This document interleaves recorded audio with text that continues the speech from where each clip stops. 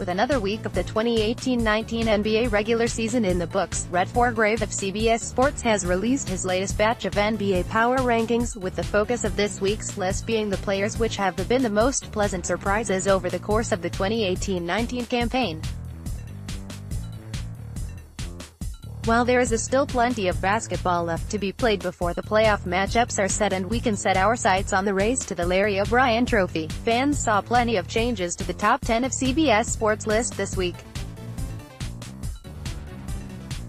As you can see from the following list, there are plenty of players who have stepped up for their teams in a major way to this point in the season in order to help their respective franchise perform at a level which many thought would not be possible entering the year.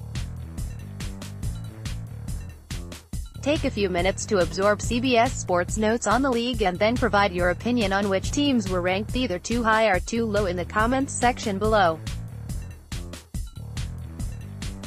If you've averted your eyes from the disaster that is the Cleveland Cavaliers, that means you've missed the resurgence of Tristan Thompson as an elite rebounding force. Thompson ranks in the top 10 in the NBA in rebound percentage.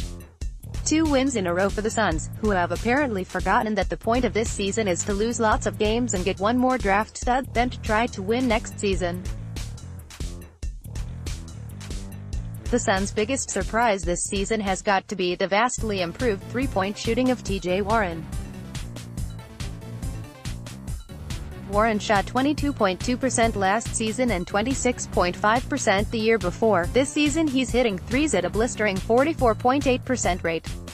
The Hawks have officially started jettisoning their veterans in favor of developing younger talent, which means first-round pick Kevin Huerter has moved into the starting rotation. Huerter has started the past nine games. He scored a career-high 19 points in two games in a row last week, and made threes at a 52.5% clip during that stretch. Wendell Carter Jr. is only 19, but he plays defense like an NBA veteran. Anyone who saw Carter at Duke last season isn't surprised by his two-way potential. But to be able to jump into the NBA and hang on the defensive end as a rookie is an impressive achievement. The Knicks are filled with youthful surprises, which means this team ought to be filled with hope for the future, not just because Kristaps Porzingis will someday be back, and not just because they may net a massive free agent or two this offseason. They took a flyer on Mitchell Robinson in the draft, and he's been one of the best young shot blockers in the NBA on a per-minute basis. Alonzo Trier has been a revelation and recently signed a two-year, two-way contract worth $7 million if the Knicks pick up the team option for next season. Noah Vonleh and Emmanuel Mudiay have impressed as second draft guys, both looking like NBA rotation players. Who knows how many of these surprises will stick for the long term. But this was always going to be a lost season from the moment Porzingis was injured. Finding and developing these types of diamonds in the rough is the best way the Knicks could spend this season. Spencer Dinwiddie's recent three-year, $34 million contract extension gives some stability in the Nets' backcourt. It will be interesting to see how that deal affects the Brooklyn future of backcourt mate D'Angelo Russell. The arc of Dinwiddie's story has been inspirational. He has beaten a career-threatening ACL tear in college to become a second-round flyer, then rose from the G League to become a player now averaging more than 17 points per game. Analytics-minded basketball fans have long loved Josh Richardson, but now he's posting incredible traditional stats as well. He's the Heat's leading scorer, 18.5 points per game, while shooting around 40% from three. He's also an anchor of the Heat's top 10 defense. After this season the former second-round pick has three years remaining on his four-year, $42 million contract that's looking like a huge value contract for the Heat. Maybe Trevor Ariza can breathe some life into a Wizards defense that ranks 29th in the NBA in defensive rating. I have my doubts. Here's to hoping the trade opens up more minutes for Tomas Satoransky, who has been quite good for the Wizards despite playing less than 18 minutes per game. How weird does this sound, Nikola Vucevic, NBA All-Star? It might become a reality this season, as Vucevic has had by far the most productive season of his career. He's averaging career highs in points, 20.6, rebounds 11.7, and three-point shooting, 40.4%. If this road-heavy spell of the Timberwolves' schedule is this team's moment of truth, then things are going to go very poorly for them. They've lost four straight road games, including to the last-place Phoenix Suns, after going 9-3 immediately after the Jimmy Butler trade. One surprising bright spot for the Timberwolves has been the reinvention of Derrick Rose as a shooter. He's among the NBA leaders in three-point shooting, hitting 48.3% of his shots from deep.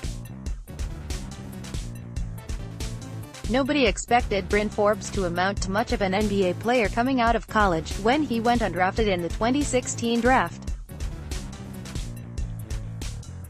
Yet Forbes has overcome low expectations before, he started his college career at Cleveland State before transferring to, and then starring at, Michigan State. Forbes has started all 30 games this season for the Spurs. He's a gunner from deep, shooting 41.5% from three. Explain to me again why the Spurs, who also have Rudy Gay among the NBA leaders in three-point percentage, shoot fewer threes than any team in the NBA. De'Aaron Fox didn't win Rookie of the Year last season, but if there were an award for Sophomore of the Year, he'd be in the lead. As a rookie, Fox displayed all the skills that made him an elite point guard prospect, elite athleticism, excellent passing vision and basketball IQ, and great potential as a perimeter defender. He also shot only 30.7% from three, which has always been his Achilles heel. This season, as the Kings have been among the NBA's most surprising teams, Fox is shooting 40.9% from three and averaging 18.1 points and 7.6 assists. When all is said and done, Fox may end up as the top player from the stacked 2017 draft. Jeremy Lamb has been putting together a career-best season in a contract year. He's at career highs in minutes, 28.4, points, 15.0, and steals, 1.2. I have faith that Bruce Brown can become a valuable player for the Pistons, if only he can improve his moribund three-point shooting, which wasn't exactly great in college either. The Pistons will need him to become that, and will also need a healthy Luke Kennard to become a little bit more than that, because this team's backcourt is what holds it back from becoming anything more than fringe playoff team. Hey, the Rockets have won three in a row after losing seven of their previous nine. These were good wins, too, over the Trailblazers, Lakers and Grizzlies. Maybe this is the point in the season where the Rockets become the team we expected them to become. The most surprising thing about this team has been how awful Eric Gordon has been from three. He's shooting less than 30% from deep. He's been so up and down, after making 7 of 11 threes in the Rockets' November 30 game in San Antonio, he's shot 20% from 3 in 7 December games.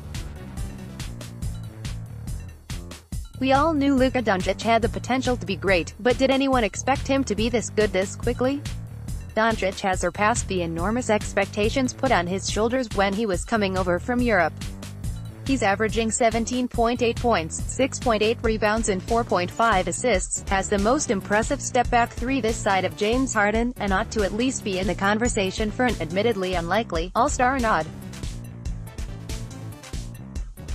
The two-year, $18 million contract Julius Randle signed last offseason looks like an absolute steal for the Pelicans. Randle is having the best season of his career, averaging a career-high 19.3 points on very efficient scoring.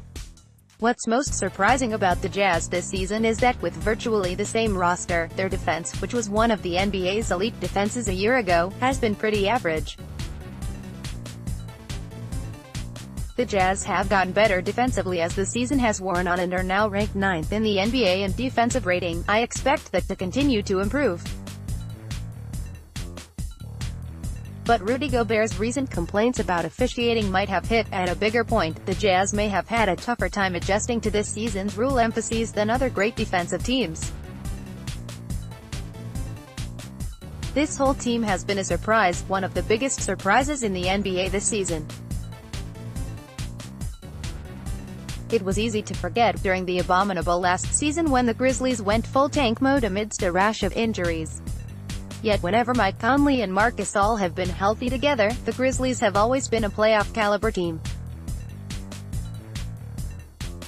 If there's one pleasant individual surprise for the Grizzlies this season, it's Garrett Temple, who is having the best season of his career. What's the path forward for the Trailblazers? They have one of the best backcourts in the NBA in Damian Lillard and CJ. McCollum, yet the rest of their roster doesn't exactly scream high ceiling. I'm a believer in Zach Collins, and he was fantastic to start the season, but he has largely fallen off from his hot start.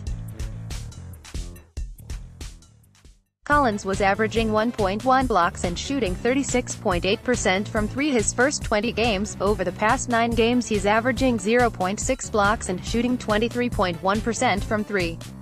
The Clippers, losers of three straight, have cooled off somewhat since their hot start. A loss to the Thunder had been preceded by getting throttled by the Rockets and Spurs. A big part of their success has been a healthy Danilo Gallinari having the best season of his career.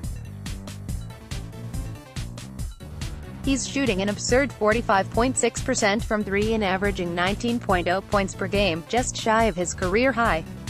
Perhaps we shouldn't be surprised that two ball-dominant players haven't exactly been jiving together on the court, but I had thought before the season that LeBron James would be huge for Brandon Ingram's development. Ingram's best play, however, has been when LeBron's been on the bench. Head coach Luke Walton is already staggering their minutes. Perhaps it's time to go all in on this strategy and bring Ingram off the bench. The Pacers ranked 11th in defensive rating last season. This year, they are among the NBA's top defenses, with a 102.4 defensive rating that's bested only by the Oklahoma City Thunder. Miles Turner ranks third in NBA in blocks, averaging a career-high 2.8 per game. I still would love to see him shoot more than 1.7 threes per game, but on the defensive end, Turner has, along with Victor Oladipo, anchored one of the NBA's best defenses. Marcus Smart's usage rate is at 13%, the lowest of his career, and this is an incredibly good thing for the Celtics. Smart has never developed as a shooter or as a scorer, but the fact that he's no longer really trying to score is a huge positive for a team that already has an embarrassment of riches in terms of scoring options. Instead, he's contributing where he can on offense while playing elite, versatile defense. That's what the C's need from him. We're a third of the way through the season, so this feels less of an anomaly and more of a surprising trend. Paul George is carrying more of the offensive burden than Russell Westbrook.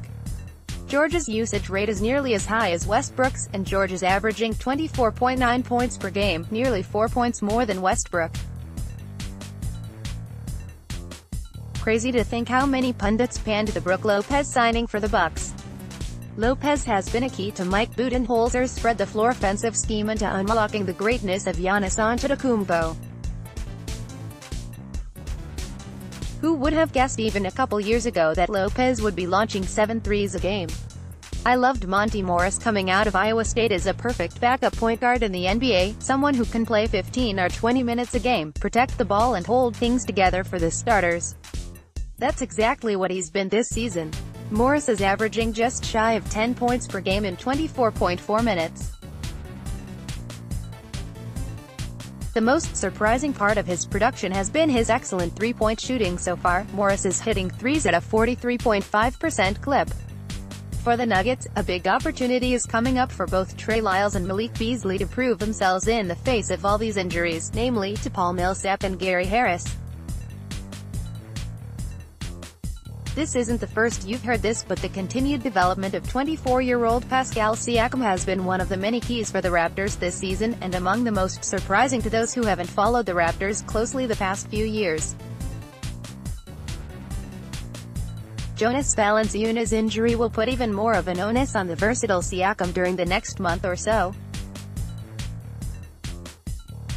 Siakam used to ooze potential but would often play recklessly. As he's matured, you can see the game slowing down for him. He's third in the NBA in true shooting percentage. High-end talent was never going to be a problem for the Warriors. Depth was always going to be a problem, and that problem shows when players like Steph Curry and Draymond Green get bit by the injury bug. That's where the signing of Alfonzo McKinnie has been an absolutely huge and pleasant surprise for the Warriors. The Warriors were 4-5 when McKinnie was out with his own injury. While the big-name injuries have obviously hurt the Warriors more, the quality minutes that McKinnie's given the Warriors so far, he's playing 16.1 minutes per game, helped hold the Warriors together during a rough stretch.